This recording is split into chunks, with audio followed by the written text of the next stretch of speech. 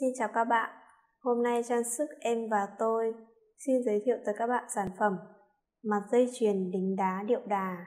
Mặt dây chuyền đính đá điệu đà kết hợp cùng dây chuyền vàng mang lại nét cá tính cho phái nữ với kiểu chế tác độc đáo, mới lạ giúp cho các cô gái nổi bật hơn trước đám đông. Mỗi một cô gái đều xứng đáng có được vẻ đẹp và thu hút.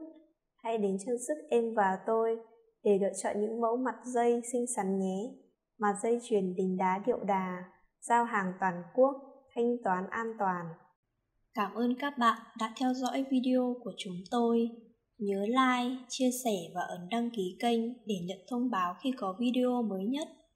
Nếu có góp ý hay bất kỳ câu hỏi nào, hãy để lại bình luận bên dưới.